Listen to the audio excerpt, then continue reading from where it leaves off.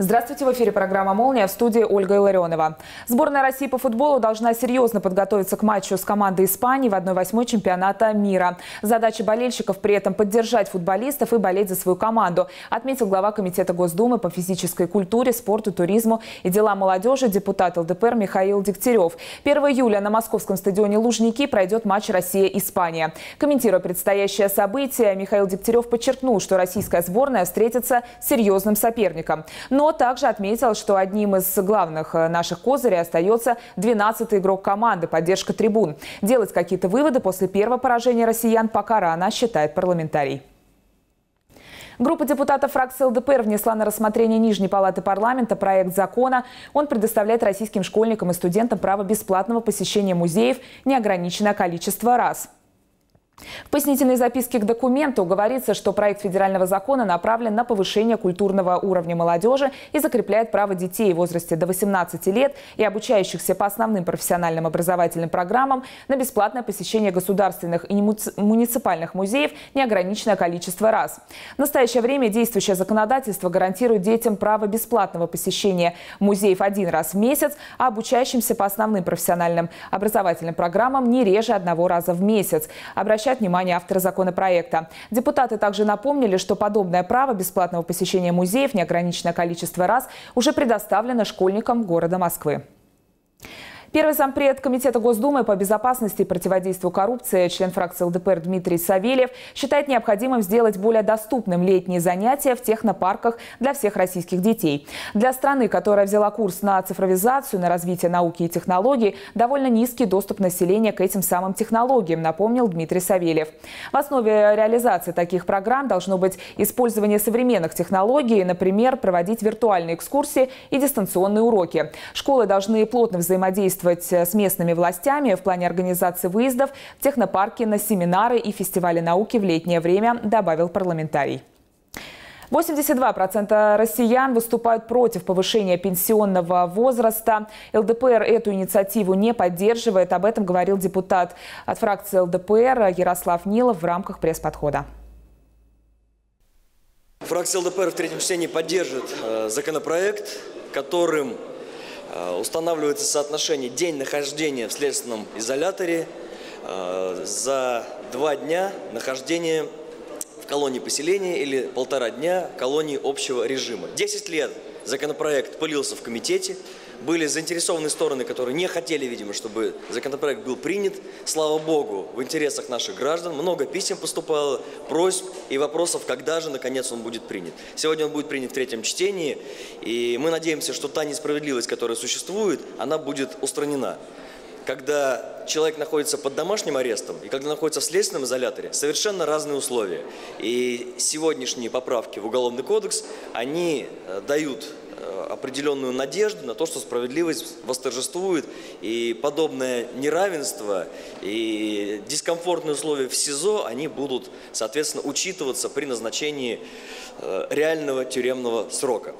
Э, кроме этого, сегодня будет э, в третьем чтении рассмотрен бюджет пенсионного фонда. Фракция ЛДПР поддерживать не будет эти изменения. И на примере этих изменений мы можем показать, э, что те заверения и обещания относительно того, что увеличивается пенсионный возраст для того, чтобы повысить пенсии пенсионерам, все это пока банальное обещание. В третьем чтении предполагается, что порядка 70 Э, миллиард, э, порядка 70 миллиардов рублей будет возвращено в бюджет федеральный из бюджета пенсионного фонда. Почему? Экономия прошлого года, с одной стороны, и с другой стороны, прогнозная инфляция, она была заложена выше, чем фактическая. То есть пенсионный фонд сэкономил деньги. Так вместо того, чтобы эти деньги направить на повышение пенсий, их возвращает федеральный бюджет. А из федерального бюджета эти деньги могут уйти и на помощь Роснана Чубайса, и в Сколково, и по другим каким-то программам. Но смысл в том, что из пенсионной системы эти деньги выведены. И никакой помощи э, э, пенсионерам их, они использованы быть не могут, потому что нет механизма. И в законопроекте о повышении пенсионного возраста, который внесен в Государственную Думу, также отсутствует механизм, позволяющий каким-либо образом в подобных ситуациях использовать эти деньги. Э, возможно сегодня увеличение пенсии только через индексацию – Э, Причем это делается с 1 апреля в том случае, если бюджет пенсионного фонда профицитный а у нас дефицит в пенсионном фонде. И у нас прямая норма, запрещающая индексировать пенсии работающим пенсионерам. Поэтому у нас большой вопрос, каким образом собирается на тысячу рублей в месяц увеличивать пенсии? И откуда взяли эту цифру тысяча? Были ли какие-то актуарные расчеты? Почему они говорят о средней цифре тысячу рублей в месяц? Нам непонятно. Поэтому мы поддерживать не будем. Законопроект о военных центрах. Э, в принципе, э, мы считаем, что данная реформа имеет э, технический характер. Есть военные кафедры, есть военные центры, поэтому с точки зрения приведения к общему знаменателю это сделать, наверное, нужно. Но параллельно следовало бы и разъяснить нашим гражданам, что закрывать военные кафедры не будут, как, так, как кафедры, будут менять статус этих, соответственно, кафедр. И если Соответственно, тот студент, который учится в ВУЗе, где есть сегодня военная кафедра, он сможет также получать военное образование, военную учетную специальность, сможет получить после прохождения сборов и присяги звание, то для него ничего это не меняет. Поэтому здесь нужно четко и ясно дать понять нашим гражданам, что волноваться не стоит. И еще на один момент хотелось бы обратить внимание. Скандальная история произошла э, в Ростовской области, в Миллерово. Приехали два инженера заниматься исследовательскими проектами, были сбиты местными спортсменами. Удивляет, во-первых, позиция сотрудников полиции, которые приехали, и на их глазах продолжалось все это бесчинство и э, преступление правонарушения. Разбили дверь в гостинице, угрожали, избивали, все это на глазах сотрудников. И только после того, когда они нафотографировались, их посадили и увезли в отделение полиции для составления материалов. И дальше эти товарищи гуляют. Якобы имеет отношение к боксу, и если посмотреть на объявление, имеет отношение к э, все более и более популярному такому виду спорта, как ММА. Так вот, у нас в ЛДПР много наших сторонников, кто профессиональные бойцы ММА, Николай Каушанский, Олейник Алексей. Я с ним переговорил, и, во-первых, я тренируюсь в зале, где также тренируются они. Такие люди, они просто так руки не распускают. Только в крайнем случае, когда необходимо, это делается. А вот э, то, что было продемонстрировано в Ростовской области, это банальный бандитизм и хулиганство. И после того, когда этот молодой парень-инженер попал в больницу, они повторно к нему пришли, и вместо того, чтобы оказать помощь, они еще ему сказали, ты рот не открывай свой, шум не поднимай, а то будет хуже. Мы шум в ЛДПР поднимем. Сегодня же идут депутатские запросы в Следственный комитет, в прокуратуру, э, в МВД и в службу собственной безопасности МВД, чтобы проверили, во-первых, действия сотрудников полиции, которые бездействовали в этой ситуации, и э, были приняты необходимые меры в отношении тех, кто совершал противоправные действия и избивал людей. Мы надеемся, что подобные вещи, они э, получат определенный э, результат, и виновные будут наказаны. И хотелось бы обратить внимание, что в том случае, если бы лица кавказской национальности бы были участниками вот э, такой вот противоправной выходки, то шум бы сейчас стоял на всю страну. А здесь в данном случае Ростовская область, гражданин не кавказской национальности избил, и как-то все это вяло текуще, слабенько освещается и обсуждается. Вот это подчеркивает, что у преступлений, у преступников нет национальности. И недопустимо принимать силу, тем более специальные навыки, для того, чтобы э, демонстрировать изъяны своего поведения. Поэтому мы от ЛДПР соответствующие запросы направим и будем информировать и средства массовой информации, и общественность о их рассмотрении. Главный вопрос, наверное, сегодняшней повестки – это бюджет мы рассматриваем его в третьем чтении, и фракция ЛДПР не будет поддерживать законопроект в том виде, в котором мы его э, рассматриваем. Особенности данного законопроекта в том, что мы практически получили 2 триллиона дополнительных доходов. То есть о таких дополнительных доходах мы не помним уже, наверное, последние ну, 6-8 лет. Вместо того, чтобы направить эти средства на развитие экономики, на социальные вопросы, мы в соответствии с бюджетным правилом направляем их на покупку долговых обязательств иностранных государств. Э, мы считаем, что, во-первых, э, в этом бюджете мы должны были увидеть те вектора которые задал президент в своем послании об э, изменении экономической политики, о новых майских указах.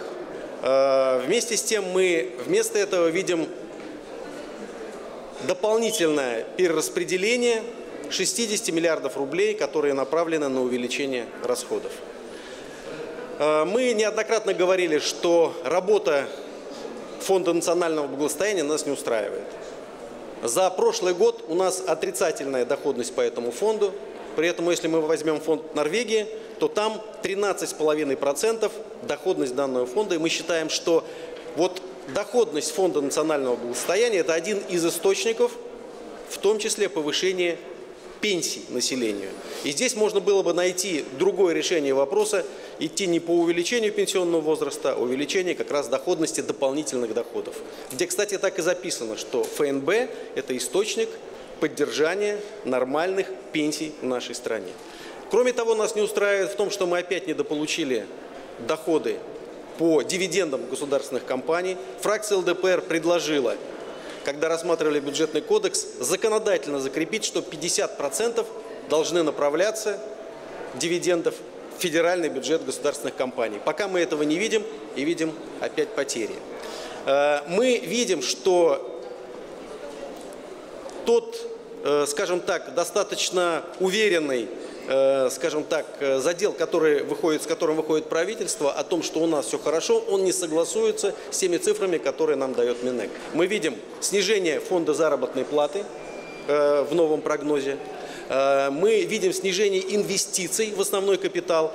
И учитывая, что государство является основным сегодня инвестором в нашей стране, вот при увеличении на 2 триллиона доходов, снижение инвестиций, это говорит о полной раскоординации действий внутри правительства.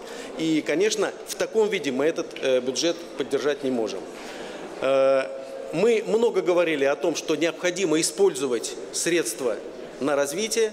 И вот э, вчера на бюджетном комитете мы рассматривали поправкой, поправкой создание Фонда развития России.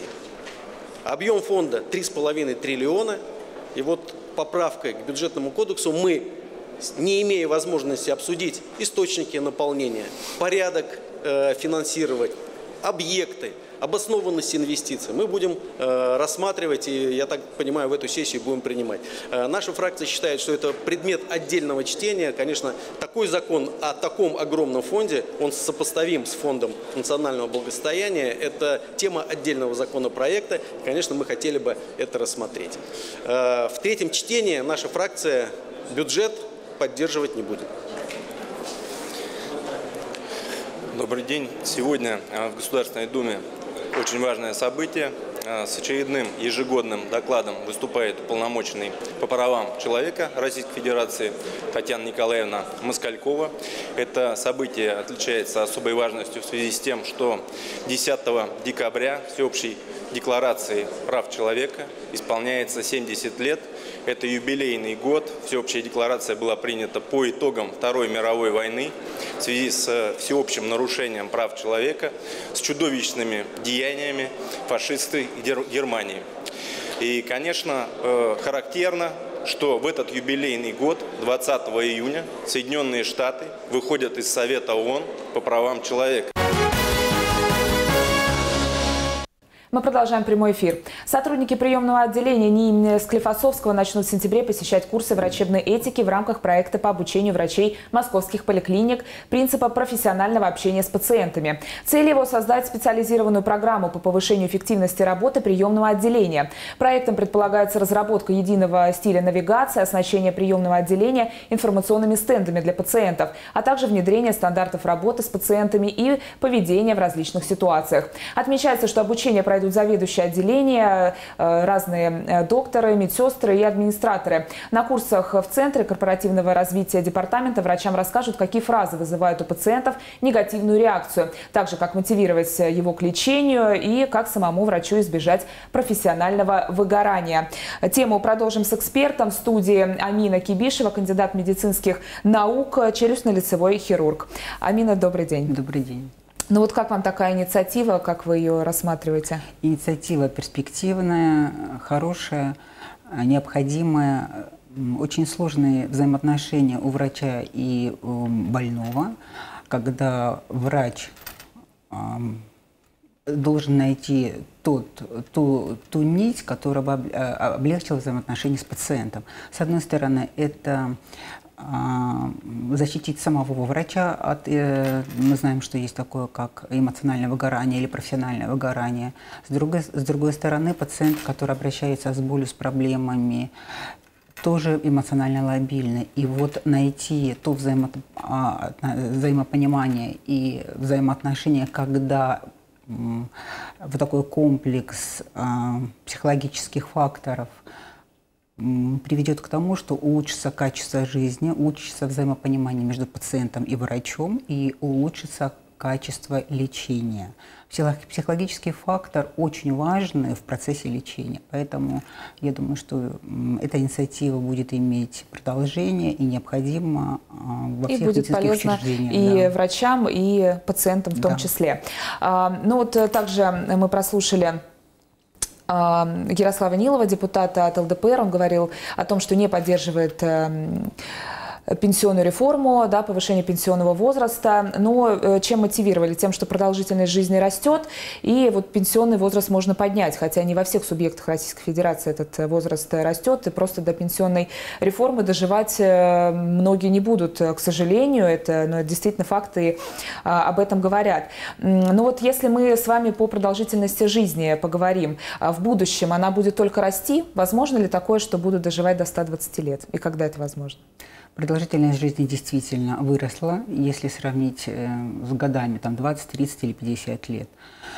Э, будут ли жить э, люди до 20, 120 лет? Возможно. Конечно, с новыми технологиями продолжительность жизни будет расти, но не такими радикальными, быстрыми темпами. сроками, угу. да, темпами. Ну вот возможно ли такое вот а, отношение к здоровью, а, правильное отношение, оно вот как раз и поможет э, повысить вот этот вот возраст. И как вы вообще считаете, какое сейчас отношение к здоровью Пенсионный возраст э, хотят увеличить. Почему-то в, в этом вопросе обидели больше женщин, хотя в нашей стране женщины, мне кажется, в условиях современной жизни работают не менее интенсивно, чем мужчины. Конечно. Женщина продолжает оставаться матерью, женой, она несет и бытовой нагрузки, и ведет также активный образ жизни. Эм, ну, что касается вот такого отношения к своему здоровью, вот какие наблюдения вы Состояние здоровья напрямую зависит от самого человека, угу. как он заботится о себе, как он относится к своему здоровью. Немаловажная роль отводится и государству, как государство заботится о своих гражданах. Для того, чтобы э, пациент, там, человек заботился о своем здоровье, уровень жизни должен быть такой, чтобы было равновесие между трудом и отдыхом.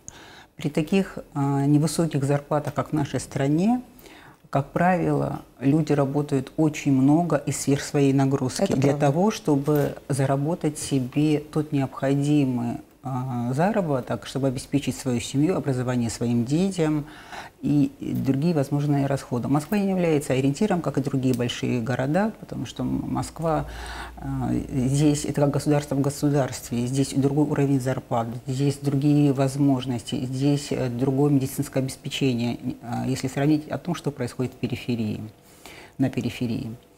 Поэтому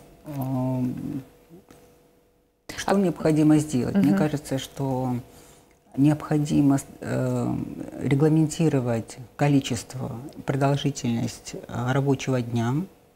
Необходимо со стороны государства курирование. Э, это санаторно-курортное лечение граждан угу. в обязательном порядке.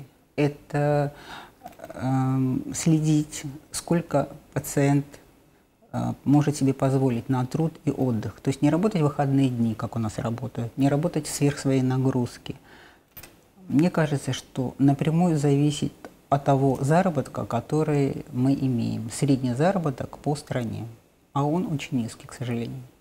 А, ну вот э, очень многие сейчас э, пациенты, э, ну вообще граждане, да, занимаются самолечением, даже ввиду того, что иногда и нет денег сходить на там, платный прием, да, к врачу. Мы знаем, что сейчас очень много именно вот платного, платной медицине. Как вы относитесь к самолечению? И что вот с этим делать? Насколько я знаю, что многие врачи очень негативно относятся. Самолечение, конечно, недопустимо, но почему это происходит? Бюджетные учреждения, в котором прикреплен пациент, очереди невозможно попасть, либо ограниченное количество талонов. Если ты захотел попасть к врачу, ты должен ждать очереди. И чтобы избежать всех вот этих э, пунктов, которые тебе, ну, ты просто не можешь себе позволить, у тебя нет возможности записываться, ждать очередь и так далее. Поэтому мы все работающие люди. Мы идем в платную клинику, по пути наименьшего сопротивления, и мы в этот же день можем попасть к врачу и получить необходимое лечение. Самолечением занимаются пациенты. Это неправильно. Наверное, здесь еще имеет эм, немаловажное значение – это доступность препаратов в аптеке. Можно перейти без рецепта купить многие препараты. Угу, то есть здесь тоже нужно как-то регламентировать, да, и, как вы сказали, курировать э, да. этот вопрос. Да, воз возможность. Угу. А, ну вот э, мы еще все знаем об оптимизации системы здравоохранения. Очень многие больницы объединялись, было и сокращение врачей, врачей. А вот э, что касается зарплат, э, говорили, что повысили зарплаты, но там как-то хитро получилось, что э, пересчитали коэффициенты, и таким образом даже зарплаты стали ниже. Вот как вы прокомментируете вот эту оптимизацию и вообще э, странный факт, что у нас врачи, учителя получают э, гораздо меньше, чем должны были бы? В нашей стране много, много предлагается со стороны, наверное, такое заманчивое, заманчивое предложение, обнадеживающее предложение. Если касается, вот что касается вопроса повышения заработной платы врачам, и последующее сокращение, то я могу объяснить этот факт тем, что а, вот сверху, да, со стороны органов э, власти, есть указание повысить зарплату врачам. А на местах нет такой возможности. Поэтому угу. врачей либо сокращают, либо увольняют для того, чтобы вот таким вот образом обойти а, невозможность выплатить и в то же время выполнить то распоряжение, которое мы имеем сверху. Врач страдает. То есть, если врач работал на ставку, то теперь будет работать на полставки в лучшем случае. В противном случае его просто уволят, и таким образом проблема будет решена, и все будут довольны. Ну вот э, и говорят э, и эксперты, и, э, там, и ну, те же пациенты, что вот эта вот оптимизация как раз способствовала тому, что все врачи стали уходить в платные частные клиники, да, а как мы уже с вами обсудили, что возможности даже зачастую нет в эти платные клиники это обратиться. Врачи вынуждены были уйти из угу. бюджетных государственных учреждений, многих их сократили, и они вынужденно пошли работать в частные клиники. А, несколько лет назад было такое массовое увольнение и закрытие больниц, когда профессор, доктор наук уходил в частную клинику, либо шел работать там на скорую то есть нет применения тем знаниям, получается, что государству не нужны те знания, тот багаж, который врач приобретает через 30-40 лет своего э, обучения и своей работы. А вот такая оптимизация, врач не может стать специалистом через э, даже 5 лет по окончании института. И если мы сокращаем э, врачей, непонятно, кто будет лечить кто? Кто придет? Это очень долгий путь становления, очень долгий. Ну а вообще, вот э, если говорить об образовании э, медицинском, как вы оцениваете? Я говорю так, что тот, кто хочет стать врачом, он должен быть готов к тому, что первые 15 лет он будет всегда первокурсник. Даже по окончании института он не специалист, по окончанию ординатуры он тоже не специалист. И только лет через 15 имея какой-то минимальный багаж, он начинает работать. Это очень долгий путь, это тяжелый путь. Поэтому, когда уже мы начинаем свою трудовую деятельность при таких маленьких зарплатах, не все выдерживают. и идут в частные клиники, ну, где можно заработать здесь и сейчас. Быть. Да, угу. к сожалению, качество оказания помощи в частных клиниках, она всегда, ну не всегда, очень часто вызывает сомнения. А, Но ну вот э, с недавних пор очень часто стали появляться новости о врачебных ошибках. А на ваш взгляд, насколько масштабна эта проблема? Вопрос врачебных а, ошибок сейчас очень как бы часто поднимающаяся тема, актуальная. Я думаю, это связано с тем, что очень много частных клиник, которые хотят заполнить свой, эм, ну, как бы свой штат врачами. Mm-hmm берут не всегда высококвалифицированных врачей.